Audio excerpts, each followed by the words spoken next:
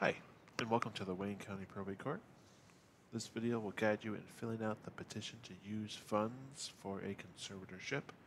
Before we get started, this video is not legal advice and is for informational purposes only. You need to seek legal counsel for questions specific to your situation. So I have up here the form, and real quick, there is a training uh,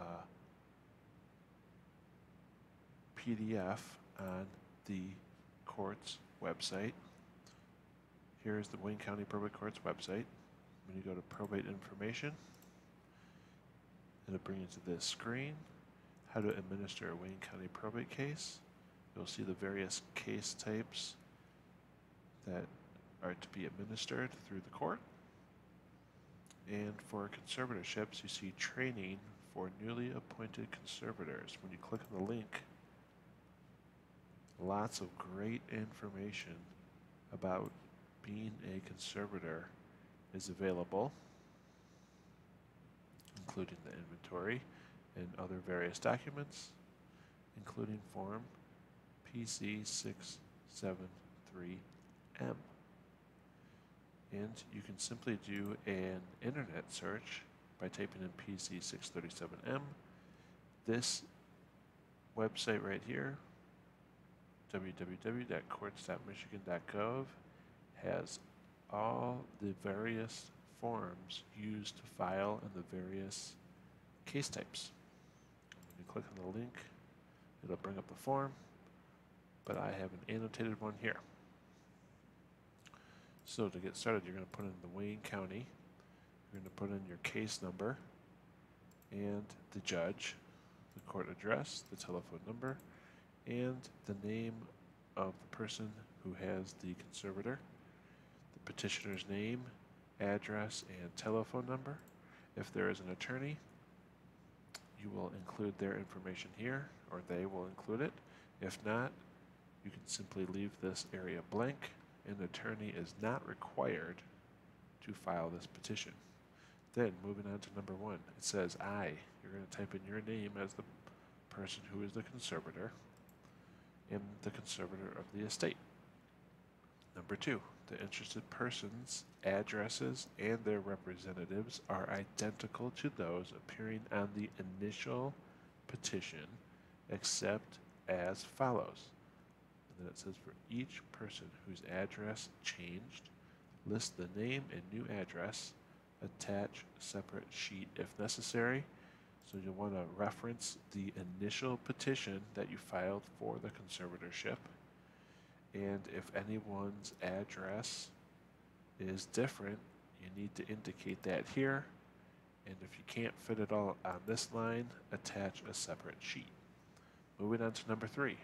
As of you're going to type in the date, the wards, also the person over whom a conservatorship is currently pending. The ward's total assets are, you're going to type in the amount of the total assets. Then you're going to make your request in number four. It says, I request permission to withdraw. This is just an example for illustration purposes only.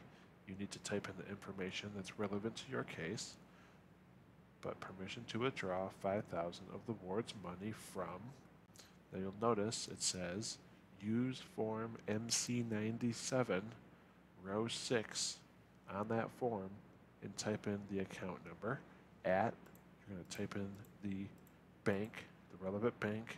These are just examples for illustration purposes. The funds will be used as follows for the benefit of the ward. I put purchase of a car. This is just an example.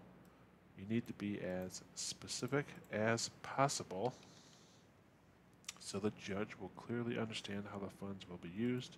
Type in your story here.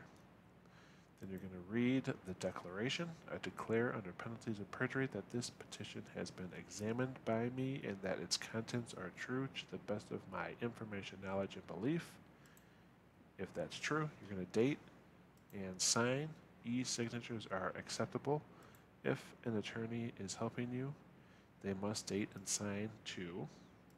e-signatures are acceptable. And then at the bottom of every SCAO form, there is a reference to a statute or a court rule or both.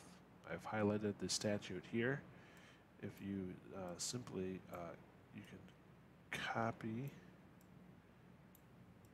whoops, you can simply copy and paste in the internet and it'll bring up the statutory section and you're going to want to read that to help further instruct you and understand the law regarding this form. So that is how you fill out the petition to use funds. We put this together at the Wayne County Probate Court because we care. Have a great day.